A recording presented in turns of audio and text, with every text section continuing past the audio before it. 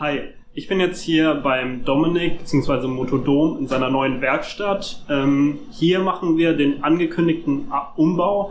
Ähm, ich habe ja euch im letzten Video gezeigt, äh, wie mein neues Motorrad aussieht, was da schon so alles verbaut ist. Und wir haben ja geplant, dass wir hier noch ein paar Sachen ändern. Die Werkstatt ist noch im Aufbau, das heißt, hier wird noch einiges geändert, aber damit es auch ein bisschen für die Saison langsam losgeht, äh, fangen wir doch besser schon mal an zu filmen. Ich bin eh spät dran.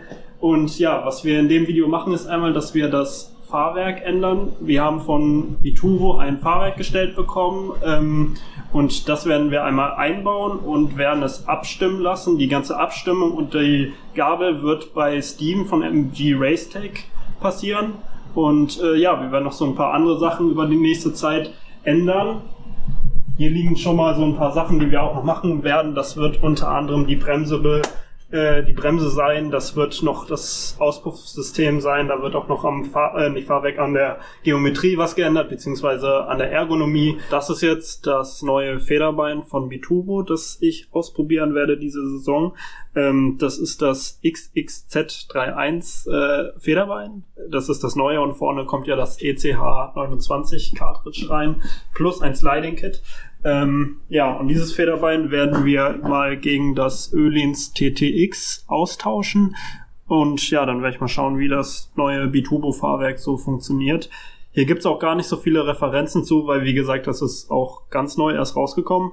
Ähm, ja, und ich werde auch hoffentlich hier noch einen Sensor einbauen, um das Ganze dann so ein bisschen äh, per Data Recording auszulegen, lesen. Und wahrscheinlich wird man da auch schauen können, wie das Ganze so funktioniert. Was machen wir denn jetzt hier? Ähm, wir bauen jetzt das Federbein aus und die gesamte Umlenkung. Dann ähm, machen wir die ganzen Nadenlager in der Umlenkung sauber. Wir haben jetzt alle Schrauben von der Umlenkung und vom Federbein gelöst, außer die obere Aufnahme. Und äh, ja, die Umlenkung sollte man des Öfteren mal sauber machen. Die Nadenlager, da sammelt sich Dreck. Und auch wenn man gerade im Regen fährt oder sowas, wird oft das Fett da rausgespült. Dann können die einlaufen und die haben so einen Kunststoffkäfig. Und wenn der bricht, das ist nicht so gut. So, wir haben jetzt das Federband ausgebaut. Das TTX von Öhlens liegt jetzt hier. Ähm, die Umlenkung haben wir auch. Diesen ja, Knochen, das der Teil der Umlenkung ist, der quasi die Federbewegung von der Schwinge über einen Wendepunkt an den Rahmen überträgt und dadurch haben wir ein Widerlager. Das Ganze ist bei Kawasaki so aufgebaut, dass wir hier quasi einzelne Bleche drin haben, hier hinten das Federbein drin hängt. Das ist, andere Hersteller lösen das anders, da ist es unterhalb der Schwinge. Kawasaki löst das, dass es in der Schwinge ist. Hier drin sind jetzt besagte Nadellager, welche dann gerade hier bei das untere immer jedem Wasser, jedem Dreck ausgesetzt ist. Und das Lager, komm mal her, kannst du das sehen? Da drin sind Nadeln, ein sogenanntes Nadelrollenlager. Und das Wasser und alles wäscht halt natürlich das Fett daraus. Hier außen ist zwar ein kleiner Simmering, ein Radialwillendichtring, Simmering darf man ja nicht mehr sagen. Der soll das zwar abdichten, tut er aber nicht 100%. Da ist auch immer Bewegung drin. Das Ganze wird warm, dadurch, dass das permanent hin und her arbeitet. Und deswegen muss man das jetzt mal sauber machen. Jetzt ähm, machen wir die noch sauber, fetten die neu. Ähm, und dann bauen wir den ganzen Schradderadat wieder mit dem B-Turbo-Federbein zusammen. Der Dominik hat jetzt das Federbein eingebaut und alles festgezogen mit Drehmoment, hat das Ganze auch mit Sicherungslack äh, markiert, damit man weiß, falls mal etwas gelöst werden sollte, dass man das auch optisch nachvollziehen kann. Ähm, ja, passt auf jeden Fall rein. Fernversteller ist auch dran. Und ich würde sagen, wir sehen uns dann beim Steven MG Racetech äh, und stellen dort das Fahrwerk ein. Wir werden das Cartridge einbauen, wir werden das Sliding Kit einbauen. Ja, und das Ganze dann auf mich abstimmen. Nachdem wir bei Motodrom äh, das Piturbo Federbein eingebaut haben, sind wir jetzt hier bei Steven MG Racetech, um einmal das Cartridge einzubauen von Biturbo und auch noch ein Grundsetting zu schaffen für mein Gewicht. Und ja, dementsprechend äh, möchte ich euch mal den Steven vorstellen, beziehungsweise am besten stellst du dich einmal vor, was du machst und ja. Ja, du hast ja schon gesagt, ich bin Steven ne, von der Firma MG Restec. Wir haben uns auf Fahrwerksumbauten spezialisiert, machen zum Teil auch Komplettumbauten, ähm, aber da halt wirklich dann nur ganz komplett und nicht nur so ein bisschen. Ja, heute bist du gekommen, um deine B2Go-Sachen einbauen zu lassen. Ja. Ähm, die Idee ist ja, dass wir das mal vorstellen, ne? wie sieht das überhaupt aus? Also genau. auch wie das Innenleben aus, wie kriegt das überhaupt eine Gabel drin? Ähm, bei B2 die haben das wirklich schön vorbereitet. Wenn man das richtige Werkzeug hat, könnte das sogar jeder selber machen. Okay. weil es Ja. vorbefüllt kommt und so. Schon gut Ja. gemacht. Wir haben jetzt das Pitu-Federbein doch nochmal ausgebaut und stellen nochmal so ein paar Einstellungen ein. Ähm, der Steven, der wird uns jetzt noch ein bisschen was dazu erzählen, was denn so alles einstellbar ist und warum man das Ganze macht. Okay, fangen wir mit den grundsätzlichen Sachen an. Ähm, einmal habe ich einen externen Versteller für die Federvorspannung, ganz nett gemacht, wollte keine zwei Hakenschlüssel, sondern kann halt die Federvorspannung ähm, darüber einstellen. Dann habe ich einen Versteller für die Druckstufe, ähm, der innen vierkant ist für den Low-Speed-Bereich, außen ähm, diese drei, ähm, dieses, drei, dieses Wendelrad ist für den Low-Speed-Bereich. Das gleiche habe ich nochmal für die Zugstufe und ähm, ich kann die Länge des Federbeins anpassen. Das haben wir gerade schon gemacht. Ne? Bei uns haben wir ein Tool für, ähm, um es Millimeter genau einzustellen. Hier ist eine 100 Newton pro Millimeter Feder drauf. Das sollte für dein Gewicht gut passen. Ja. 90 Kilo mit Kombi, Ja, wenn ich das so sagen darf. ja. ja. Ähm, ja, Zweirohrtechnologie erkennen wir noch ganz klar daran, dass ähm, beide Versteller im oberen Bereich sind. Ähm, bauartbedingt würde das gar nicht anders gehen. Wenn ich jetzt den Versteller im unteren Bereich hätte, kann ich davon ausgehen, dass es kein Zweirohrdämpfer ist, sondern immer ein Einrohrdämpfer. In dem Fall ein Zweirohrdämpfer. Weshalb haben wir jetzt die Länge geändert? Oder warum haben wir das jetzt länger gemacht? Ähm, um das Heck von der Kawasaki ein Stück höher zu kriegen, damit sie ein bisschen wendiger wird für dich. Wir haben es jetzt 2 mm gelenkt, im Ja. Gegensatz zur Serie. Das sind so Erfahrungswerte, die man halt mitkriegt. Ne?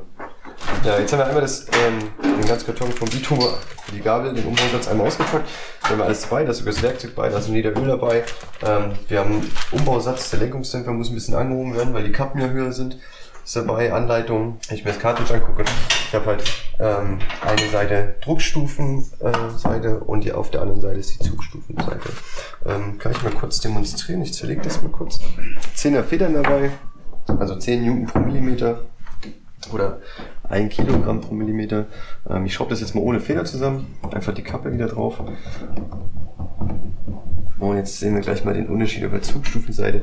Ähm, das kommt auch vorgefüllt, ne? also Öl und ähm, Stickstoff ist in der Kartusche schon befüllt. Deswegen könnte es quasi jeder zu Hause nachbauen. Wenn man es zerlegt, natürlich dann nicht mehr. Ne? Da muss man den Fachhändler aufsuchen. Und jetzt lasse ich mal los. Und jetzt kann man sehen, wie langsam das hochkommen würde. Ne? Wir haben jetzt keine Feder da, die Ja. irgendwie gegenarbeiten würde. Wenn ich es runterdrücke und drehe die Zugstufe wieder ganz auf.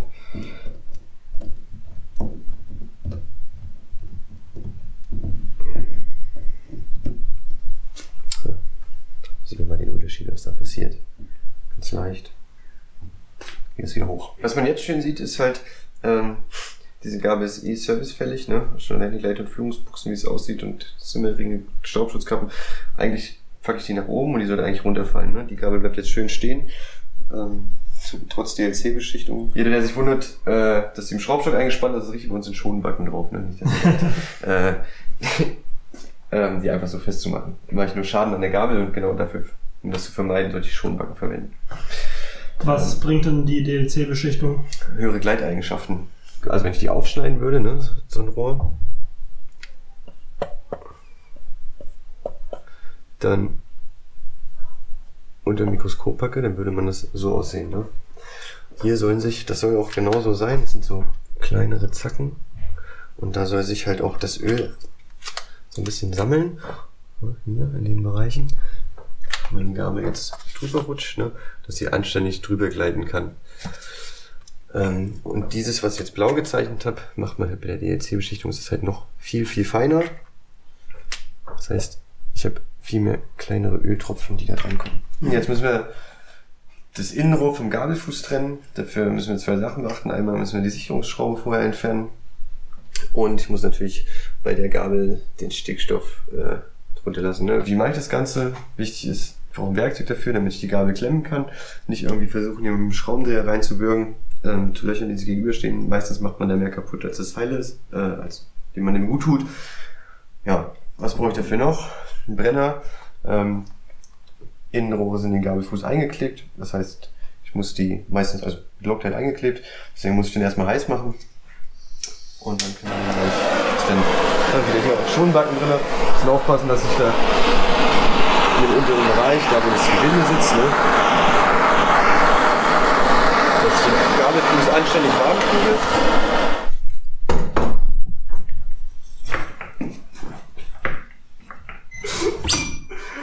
Schreien um Gnade, das Ding, ey. Dann sieht man auch, dass das angeklebt ist.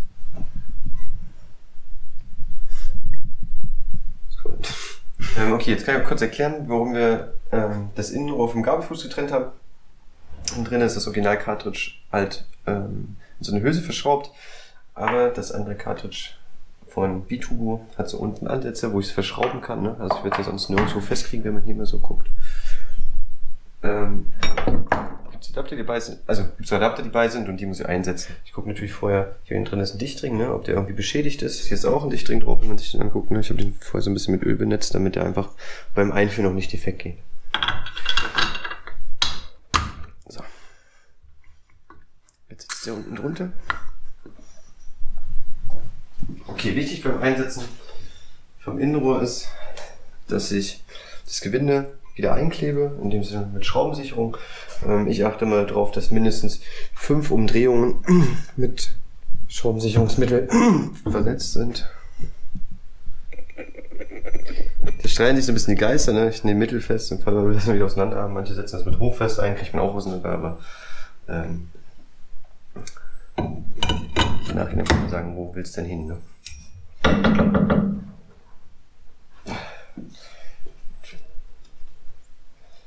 Meine, du hast ja von Bituro auch so ein ähm, Kit gekriegt für die Leihhoff-Eigenschaften, ne, um die zu verbessern. Das heißt, wir nehmen die Führungsbuchse aus dem ähm, Außenrohr raus, setzen die neue ein. Die ist ein bisschen kleiner. Ähm, also die ist nicht kleiner im Innendurchmesser, sondern die wird halt so, wenn ich aufeinander packe, sieht man, dass es gleich groß ist. Dahinter kommt dann eine Scheibe, dafür wird die Originalscheibe weggelassen. Der originale Simmering ist etwas dicker, dann kommt der Simmering drauf, die Spange davor und die Staubschutzkappe. Die drei Sachen sind von S, also die zwei Sachen sind von SKF. Die waren vorher auch von SKF schon drinne. Ähm, das ist auch ein Simmering, den ich halt jedem Rennstreckenfahrer empfehle, weil ich das Losbrechmoment der Gabel nochmal minimiere.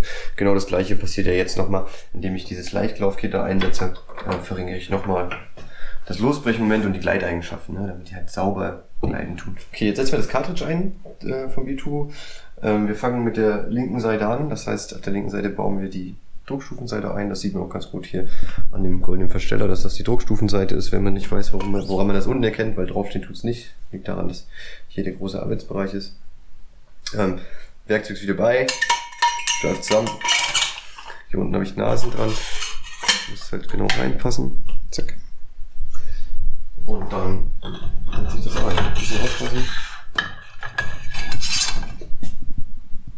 Ziehen das Ganze fest. Nicht übertreiben, ne? das ist nur Alu. Ich stelle wieder raus. Schon haben wir das Cartridge drin. Wir filtern das Ganze noch mit Öl. Das heißt, das, was fürs Außenrohr und fürs Innenrohr wichtig ist, ne, und auch Gleitscheigenschaften, Feder, dass das alles auch nicht so einen großen Abrieb hat. Das Öl ist jetzt nur zuständig, um die Reibung zu minimieren oder wofür Ja. ist das? Einmal um die Reibung zwischen Innen- und Außenrohr zu minimieren, ne? Ich meine, damit, damit die Gleit- und Führungsbuchsen auch geschmiert werden. Und bei der Feder, ne, dass ich halt keinen Abrieb, ähm, dass, also ich nicht so viel Abrieb habe, wie ich eh, also was eh schon da ist. Ähm, weil ich habe ja ein Close Cartridge System, was wir dafür gebaut haben. Das funktioniert ja linear, das funktioniert auch nicht über die Luftpolster zum Einstellen. Ne? So, beim Einstellen des Luftpolsters ist mir wichtig, auch da ist es wichtig, dass ich halt Kolbenstangen gleich runterdrücke und dann das Luftpolster einstelle. In dem Falle stellen wir 170 mm ein.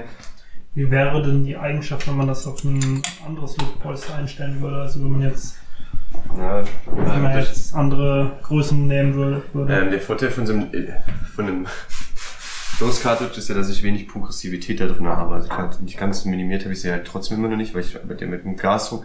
Aber wenn ich jetzt ähm, bei einem Open Cartridge habe ich ja oben das Luftpolster, das nutze ich ja für meine letzte Kompression, also für den unteren Drittel des Bereichs vom, von, von der Gabel.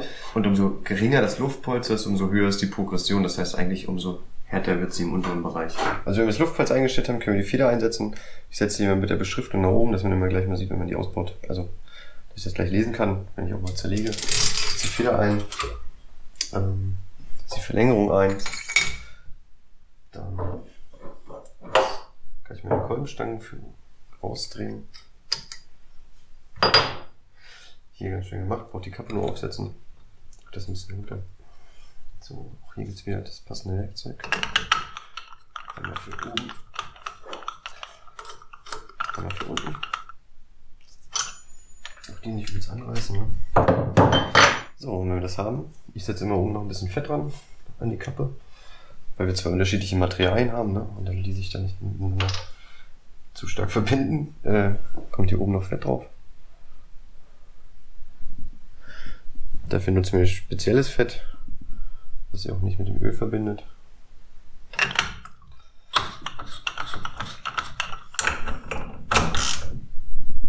Leicht angezogen.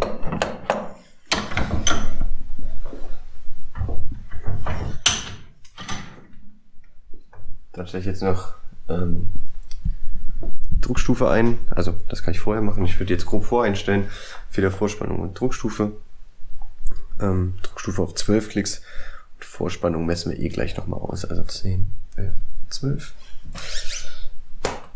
Und schon wir fertig. Jetzt nochmal einmal mit Bremsenreiniger ein bisschen abwischen. Das Außenrohr beim Einsetzen, ne, dass, wenn ich in der Klemmung bin, dass da kein, Bremse, kein Öl zwischen habe. Und dann war's das schon. Jetzt kommt das, was wir vorhin erzählt haben, ne?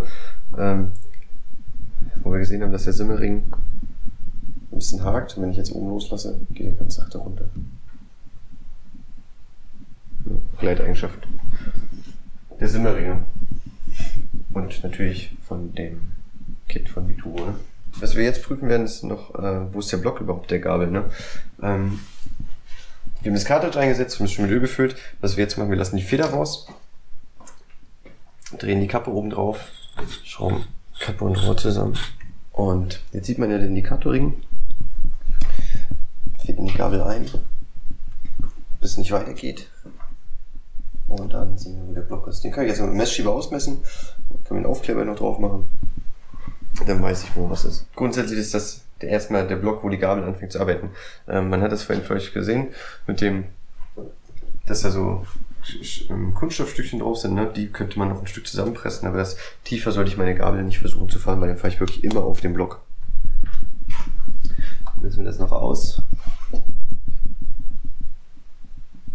Wir können hier sagen, Block ist bei 11 mm. Nachdem Steven jetzt das Cartridge eingebaut hat, ähm, wir das Ganze wieder alles zusammengebaut haben, heißt, das Federbein ist drin in der richtigen Länge und das Cartridge ist in der Gabel und alles wieder eingebaut, äh, müssen wir jetzt noch ein Grundsetting einstellen auf mein Gewicht und äh, ja, dafür hilft mir jetzt der Steven. Genau, und das grundsätzlich ist es der Grund voreingestellt, also das haben wir schon gemacht, bevor wir es zusammengebaut haben. Aber wir messen jetzt auch die negativen Federwege aus. Ähm, kann man zu Hause relativ einfach nachmachen, indem wir im Zeugstück können wir auch, glaube ich, ähm, mehreren diversen Lehrgängen auch schon erklärt, wie man das machen kann. Und wahrscheinlich wird es, wenn die Corona-Zeit es wieder zulässt, auch äh, dazu wieder Lehrgänge anbieten. Entweder mit dem Zeugstück oder so wie wir das jetzt machen, ähm, mit einem elektronischen Tool. Ähm, für mich ist es einfach schneller zu machen. Ja. Ähm, und das werden wir jetzt immer tun. Ne? Dafür ähm, haben wir das Motorrad komplett aufgebockt, das ist ausgefedert. Ich setze hinten gleich das Messwerkzeug an. Dann messen wir erstmal die Nullen. Ne? Also wenn es komplett ausgefedert ist, was passiert, wenn das Motorrad auf dem Fußboden steht. Ähm, als statischen negativen Federweg und wie sieht es aus, wenn du drauf sitzt. Ähm, so allgemeine Einstellwerte findet ihr bei uns auch auf der Website. Ne? Also unter Downloads gibt es äh, so ein Formular, da kann man sich mal das angucken. Und dann ist auch das Formular ist ganz nett aufgebaut, finde ich. Da kann man auch gucken, dass man, was für Werte sind so allgemeine und kann man die für mich selber halt ausmessen und rausschreiben. Wenn sich alle wundern, warum wir jetzt Maske tragen und vorhin nicht, ne? vorhin haben wir genug Abstand gehalten, ich meine, wir haben alle negativen Tests gemacht, aber jetzt können wir uns gleich beim Einstellen ne, unter 1,50 Meter, von ja. daher müssen wir jetzt beide Maske tragen. Ja. Ne? Von der Achse dann nach oben.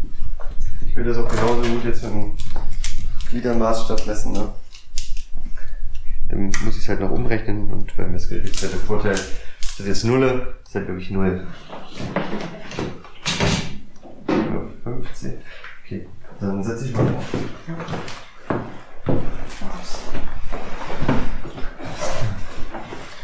Ich mal fest und setze mal so drauf, als wenn du auf Stativ fährst. Ja, ich Okay, und jetzt messen wir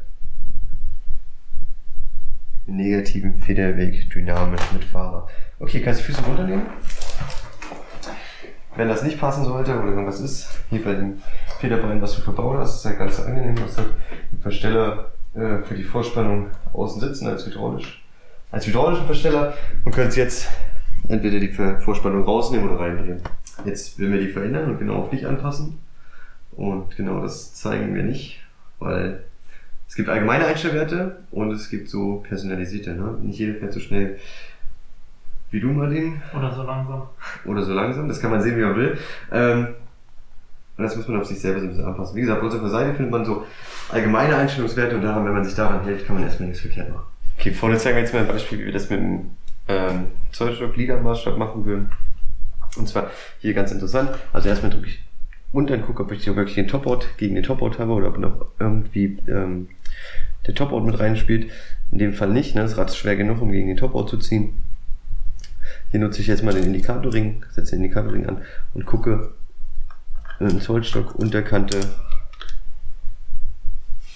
von dem Indikatorring bis zur Oberkante vom Gabelfuß und in dem Fall notieren wir uns 13.1. Wieder den statischen negativen Federweg. Wir haben den Indikatorring dran, das heißt, wenn du jetzt Füße runter nimmst, bleibt der Indikatorring auf der Höhe.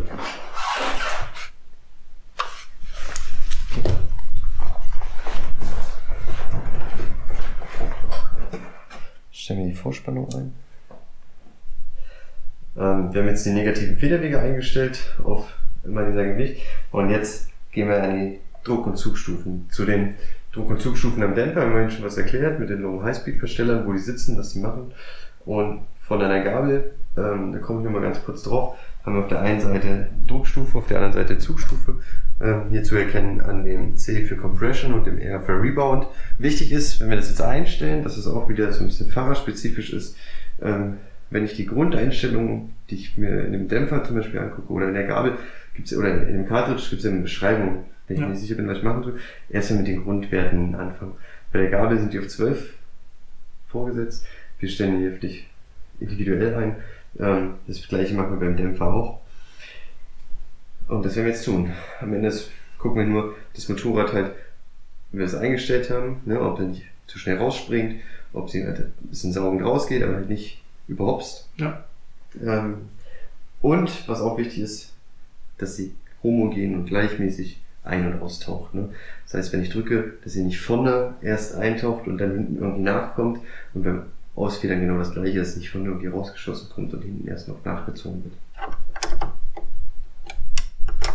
Nachdem Steven jetzt das Fahrwerk eingestellt hat, sind wir eigentlich soweit fertig mit dem Fahrwerk. Und äh, ja, die wichtigste Frage liegt auch eigentlich noch im Raum. Und zwar, was bringt eigentlich einem so ein Aftermarket-Fahrwerk im Gegensatz zu einem Serienfahrwerk? Berechtigt die Frage, die wir auch, sag ich mal, öfter sogar gestellt kriegen. Ähm, erklärt sich das immer so, da muss ich vorstellen, Kawasaki baut halt dieses Motorrad, das ist ja ein großer Konzern, der hinter Kawasaki nun mal dahinter steckt, ähm, baut diese ZX10 her und will von Schober eine Gabel haben dafür. Diese Gabel wird im Einkauf keine 1500 Euro kosten.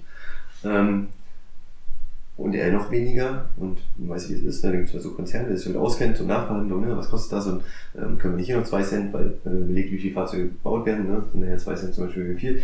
Das hat leider oft den Nachteil, dass es zu Fertigungs, also zum Fertigungsprozess, dass der halt irgendwie günstiger gemacht wird oder ähm, irgendwelche Gleit Gleitlager oder so günstiger eingekauft werden. Und vorhin hat man ja gesehen, diese Kolbenstange, die wird halt bei so einem Aftermarket viel mit weniger Toleranzen gefertigt. Ne? Diese Gleit- äh, oder die Gleitbuchsen da drin sind qualitativ hochwertiger. Die Komponenten, die da drin verbaut werden, sind hochwertiger. Die Toleranzen schon allein in den Chips sind geringer. Und das bringt mir eine feinfühligere Gabel. Also ein sauberes Ansprechverhalten. Und ähm, auch wenn mich das auf Anhieb nicht eine Sekunde schneller macht, was ja immer viele denken, ne, jetzt stecke ich irgendwie Tausende von Euro bei Fahrwerk und das macht mich auf Anhieb schneller. Das macht mich auf die Zeit schneller, klar, weil wenn ich so ein, wenn ich ein sensibles Fahrwerk habe oder was, was sensibel funktioniert, auch von den Einstellungen her, ne, wenn ich dann so zwei Klicks merke, habe ich natürlich den Vorteil, ich fahre sicherer. Und durch dieses sicherere Fahren werde ich halt schneller. Ja. Ähm, so ein Punkt, der dazu beiträgt, mich zu steigern. Ich glaube, du kannst das als ähm, semi-professioneller Rennfahrer, wenn ich es mal so sagen darf, ganz gut beurteilen. Ähm, wenn ich Sicherheit verspüre, werde ich auch schneller. Ja, das ist das Wichtigste. Ähm, gehen wir mal zum Dämpfer hinten, das ist genau das gleiche. Also Zweirohrtechnologie, es gibt wenig Hersteller, also so Ducati in den S-Modellen, Aprilia in den Factory-Modellen, äh, Yamaha in der M-Variante, da gibt es schon zwei Rohdämpfer drin, also eine Twin-Tube-Technologie. Da sind wir ganz am Anfang mal ein bisschen drauf eingegangen. Und genau das gleiche wie mit der Gabel, Feinsensibilität, Ansprechverhalten, auch in der Fertigung, in der Herstellung, viel, viel teurer im Twin-Tube. Ähm, deswegen macht es auch Sinn, sowas zu machen. Ne? Ich muss zwar ein bisschen Grundspeed haben, also auch so, ich nicht ganz so schnell bin, brauche ich erstmal ein gut abgestimmtes Fahrwerk. Das, was wir vorhin gemacht haben mit dem Ausmessen, das ist eigentlich das A und O, was jeder mal machen sollte.